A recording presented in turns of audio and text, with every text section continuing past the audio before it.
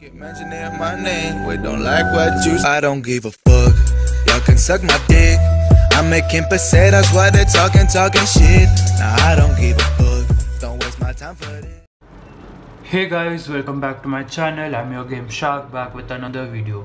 So in this video I'm going to talk about that how did I break my Poco F1 device, how did I get it repaired and how much this cost me up. So it was just another normal day I was flashing a custom ROM which is HN ROM and I always do a clean flash while wiping a Dalvik cache system retain window partition and flash the ROM in TFT. I did the exact same process I do with other ROMs and the phone got rebooted successfully and then immediately my phone got shut down. First I thought that there was no power in my phone so let it charge up. So then I tried to reboot, it wasn't responding up to fast boot mode or recovery mode. Then I visited the service center, then they said directly that you need to get your motherboard replaced. So there I refused them and said them to give my device back. Then I got a guy from Russia who said me to do a EDL flash done. So then this is my phone.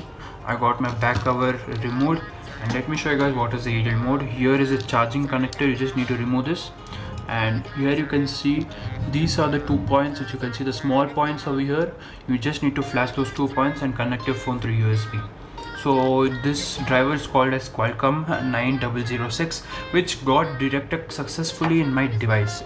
So I don't know what was the reason. Then I said him to get an EDL flash done which he asked for $20 first I said him that I wouldn't pay you.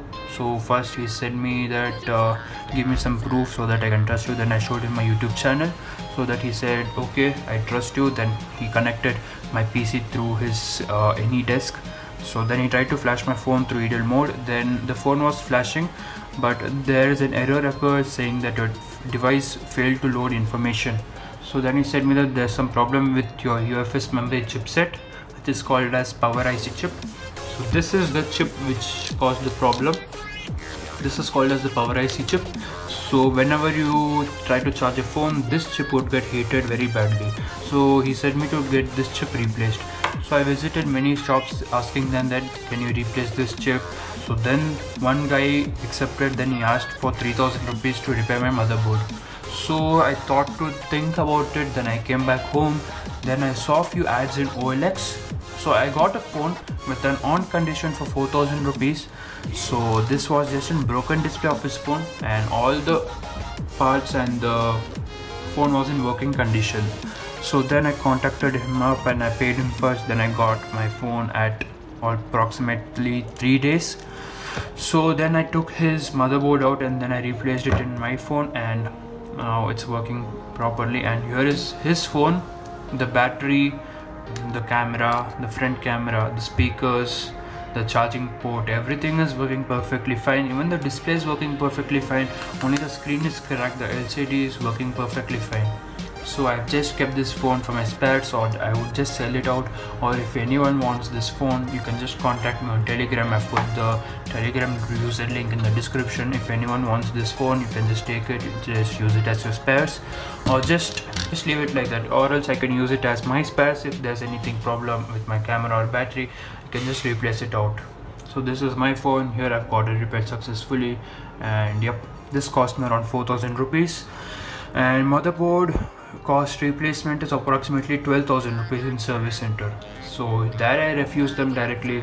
I said them that no, I wouldn't get my motherboard replaced. I would get a new phone instead of that for 15,000 itself. So yep, I got this phone in OLX and this one I've kept for sale. Like there are almost all the parts available except the motherboard is not in the working condition. So here I've got my Poco F1 back and I would say that please be careful while flashing these type of custom ROMs although after unlocking your bootloader everything is upon your risk because Xiaomi has said that unlocking your bootloader is at your own risk. Although if your phone is under warranty you can claim the warranty. But if you're not under warranty then you need to spend a few bucks to get it repaired. So reply to a few people saying that flashing bad custom ROMs or bad kernels might cause this brick I would say again that this is all upon your risk and I've said my problem how did this occur up. So also here I've made a new telegram group channel for YouTube Game Shark. Here you can join there are almost 100 people joined here. I've put the link in the description. So here you'll get all the notifications like whatever I upload on daily basis. And from now I wouldn't upload on daily basis. Like already I have had a huge experience flashing custom ROMs I've almost flashed almost like 100 ROMs and for you guys? So take care and i'll see you guys in the next video. Until then bye bye